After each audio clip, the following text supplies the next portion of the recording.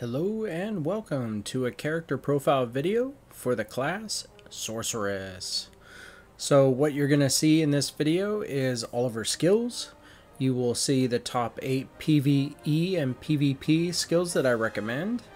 You'll see all her enhancements, her player card, and her farming speed. So without further ado, let's uh, jump in and show you all of her skills for Sorceress. Here we go. So if this is the first time that you've seen this uh, slide, uh, allow me to introduce all the parts to you. On the far left is all of the skills. Uh, the next column to the right is charges, so that's how many times you can use that skill. The next column over is how many times the skill hits, or can hit up to. So the first one can hit Shadow Kick, can hit twice. The next column over is uh, the damage percentage when you're fighting a monster or creature in the in the game. And the next one over is PvP, that is against another player, and the damage percentage you'll do against them. And finally on the right hand side is the specials. With the skill comes the special additions to it. So uh, you're in for a real treat because uh, Sorceress uh, has uh, something different that makes her stand out. I will uh, elaborate more on it when we get to the enhancements. So let's go ahead and uh, jump over to the top PvE skills now that you've seen them all that I recommend. Here we go. Alright, so here is the uh, PvE skills, or all the skills, and I've organized it according to the highest percentage of damage for PvE column. So you'll see uh, Doom Vortex is at the top, and the eight skills below it, highlighted in green, are the ones that I recommend, only because of damage.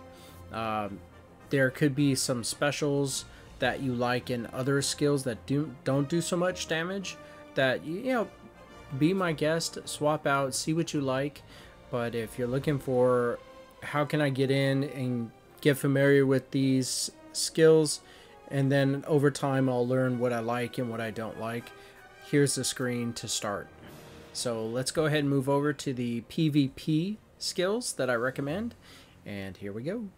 Okay, so for the PvP skills I need to explain. First of all, uh, Dark Shift uh, was kicked out from the PvE because it doesn't do much damage for PvP, but here you'll notice there's more than 8 highlighted, and that is Doom Vortex all the way down.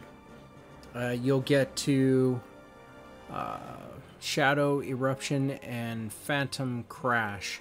These two are the exact same percentage of damage, so but they both have different specials. So I'm leaving this up to you to let you know that you can select all of them, but when you get to these two that have the same percentage of damage, it's your choice. Obviously, it's always your choice, but your choice on what 150% damage skill do you want to choose.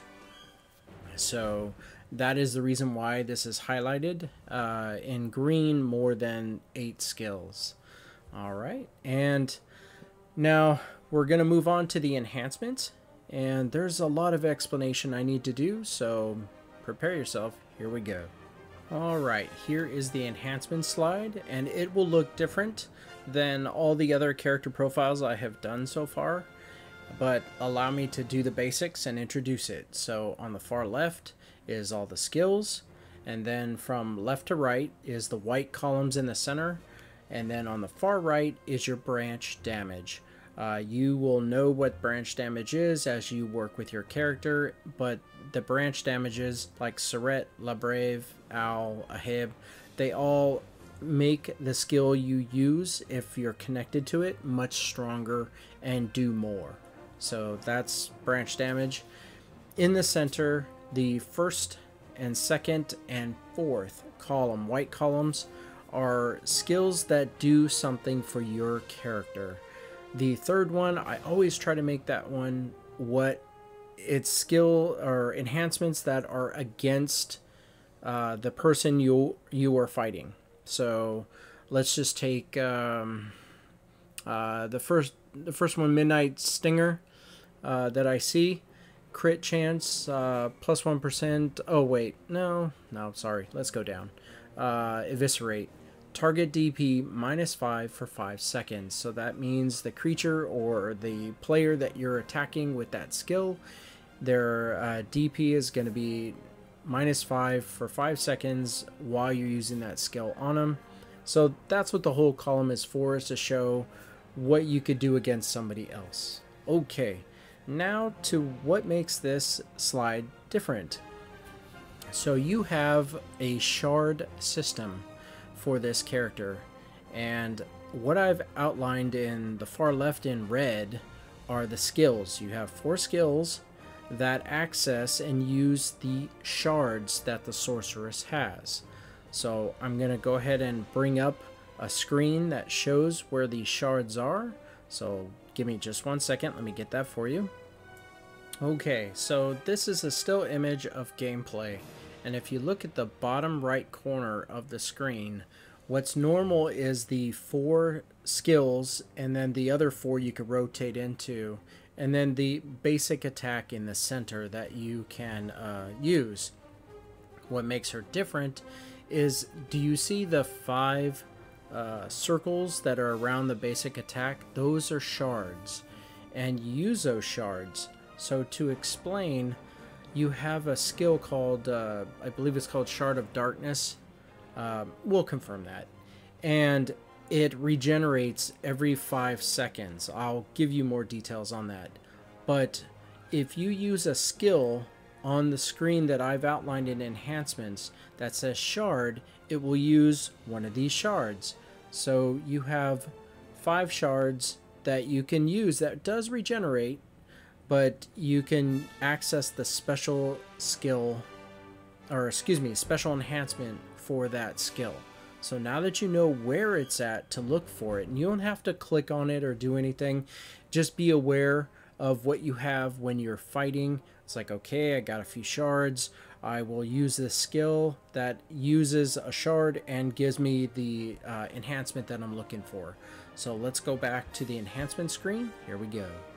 Okay, so now that you're looking at the enhancement screen, uh, again, the uh, again the skills that are outlined in red are the ones that utilize a shard, and I even outlined the word shard in red so you can easily visually see it. So let's take uh, Midnight Stinger at the top. So if you use that skill and you have a shard, what it'll do is it'll do an additional attack. It'll be the same damage as Midnight Stinger and it has a knockdown on hit. Now you uh, need to make sure that when you go into your enhancements for that skill that you actually have the level and activated that enhancement. This is not automatic. This is what you uh, put the potential of what you get when you uh, buy that enhancement for that skill. So this character is very complex. She's got a really nice bag of tricks, and with uh, all the four shard skills, or excuse me, enhancements that go with the skills, she really can be uh, someone that can be uh, unpredictable on the battlefield. So take a moment, take a look at it now that you have the introduction of how the shard works, and it's called shard shards of darkness is what I meant to say. The very last skill on the uh, the list at the bottom. So let's go ahead and move on to the uh, player card, and we'll go from there. See you there. Alright, if this is the first time that you are seeing a player card, then allow me to introduce it to you. So at the very top is the top 8 PvE and PvP skills that I recommend. To the right of that is something new, I call it immobilization. So whenever you use a skill that knocks your opponent or the creature down, or knocks them up in the air, or stuns them, or anything like that, that's immobilization. The effect of knocking them back, I don't consider that immobilization.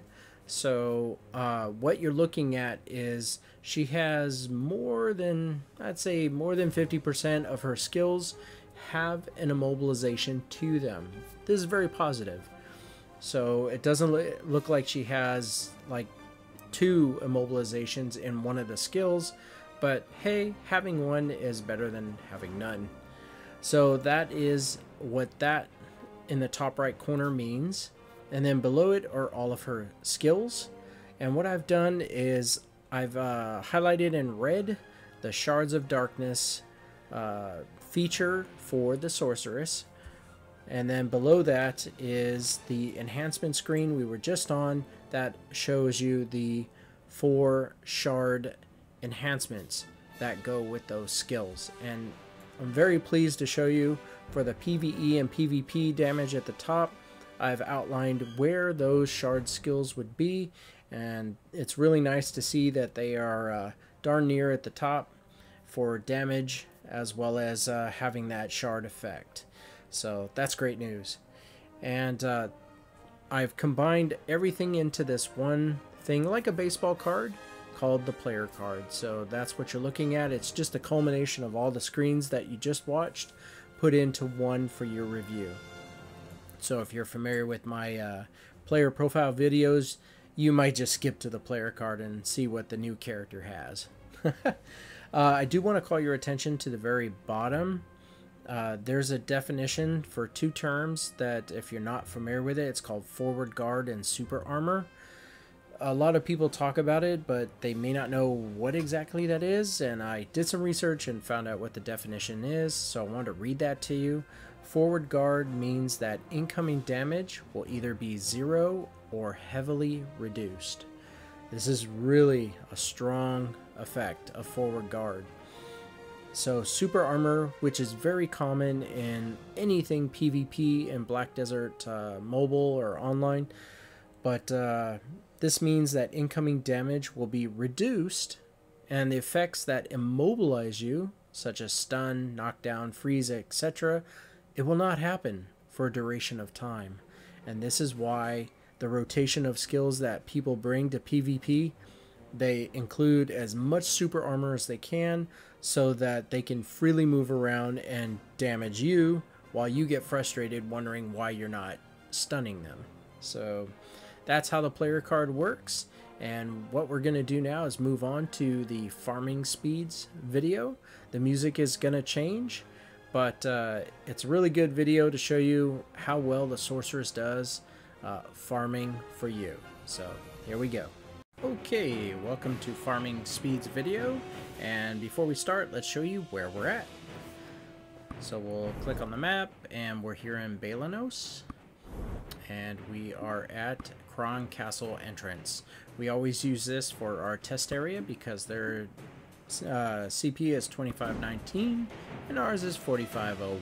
I think we'll be okay. Let's uh, show you a few more things before we get started. Our test is for five minutes. So we have a clock here. And we also have a battle tracking sheet which shows uh, how much money you can make and how much kills she does. We use the Black Spirit skill, uh, defeating the enemy, to track how many kills were done. So we'll bring up that battle tracking sheet and put in, uh, is it uh, 1847 as our start. And then once she's done, we'll put that number in, subtract it to give us how many kills that she did for this test. Uh, I always use the same armor, so it gives her the 4501 uh, CP and there's nothing else in the inventory except for potions. Rarely I'll use that. And let's see, what else can I show you? Uh, we always have a auto path to our fighting area. And our pets uh, are in good shape to collect all the junk loot. So without further ado, let's uh, go ahead and uh, get this started. And when we, uh, we'll bring up our clock again. And when she gets there, we'll start it, and she'll have five minutes to kill as many as possible. This is the first time I've noticed people over here, so, yeah, oh well. Won't disturb our test in the least. So let's uh, go ahead and uh, take the clock away and allow you to see and listen to how she how she attacks.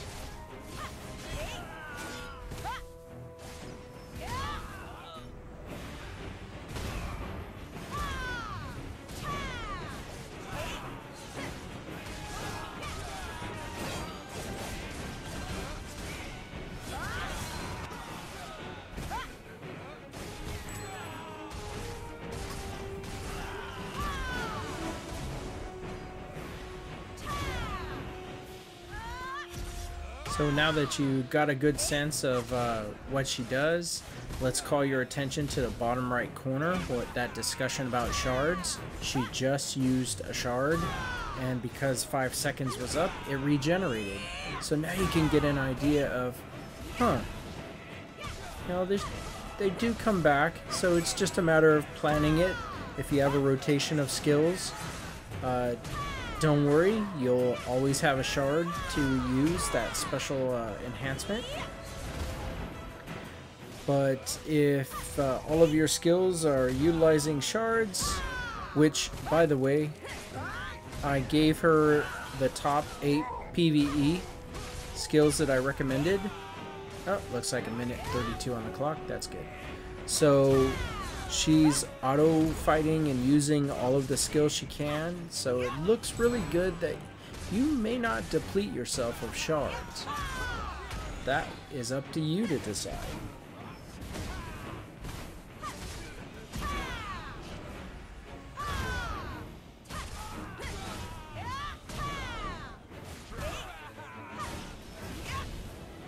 I will say, if you love the color purple, this is the gal for you. All of her effects are purple.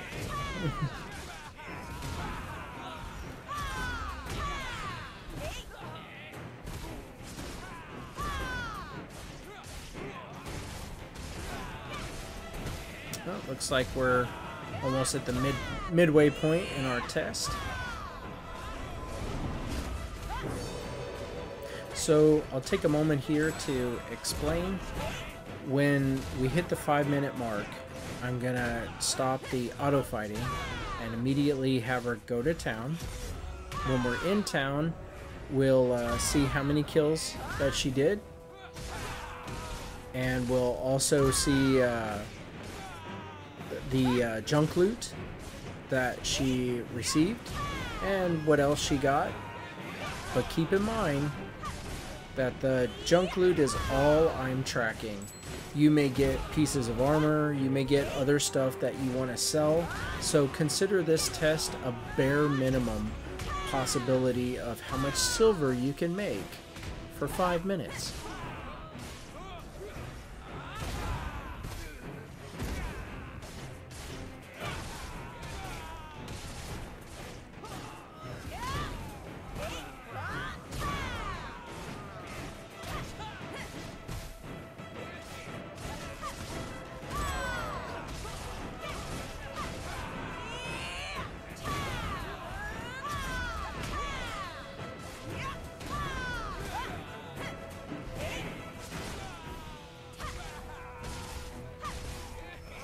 Looks like we're rounding out to the last minute in our test.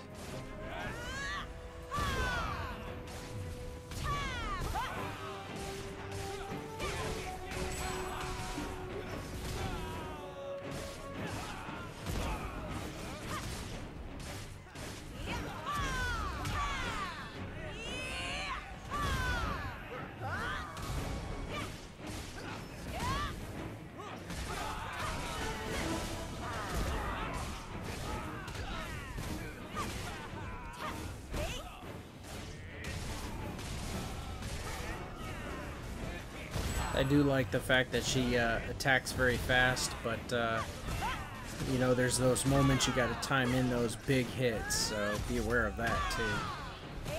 Alright, looks like we're almost set here.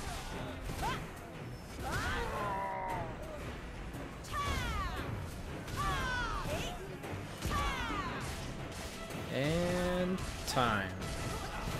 Here we go.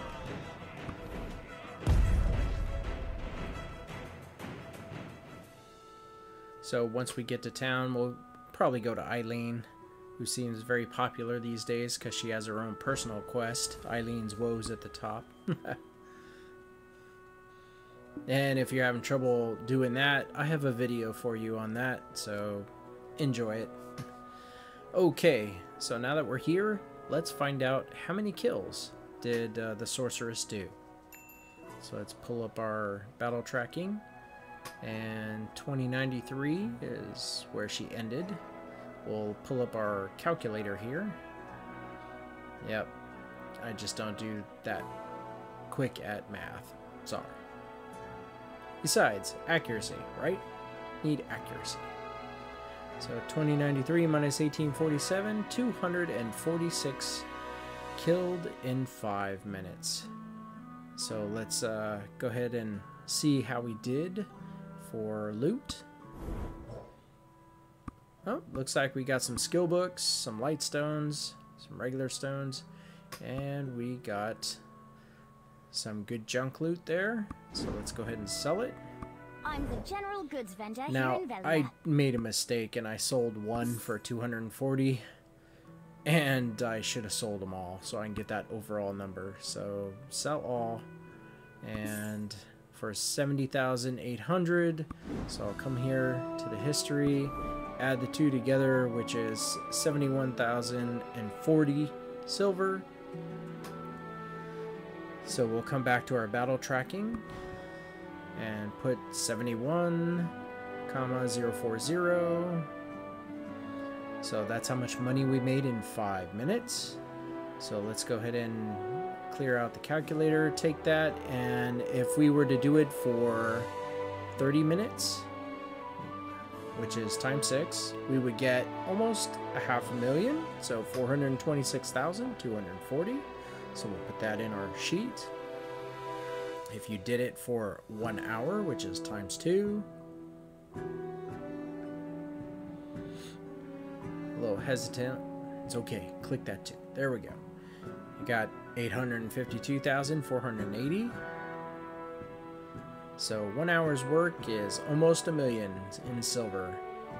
And then if you did it for four hours, holy cow, 3,409,920. You could literally put her in a farm spot, go have dinner, uh, go run some errands, come back, and she will reward you with lots of silver. And that's the junk loot. That's not counting any of the armor or anything that might drop for you to sell if you don't need it. And that'll do it. So this has uh, been a really nice presentation for you. Uh, thank you very much for watching this video. I'm always making more, so if you like my videos, subscribe, like, and I'll see you in the next video. Take care. Bye now.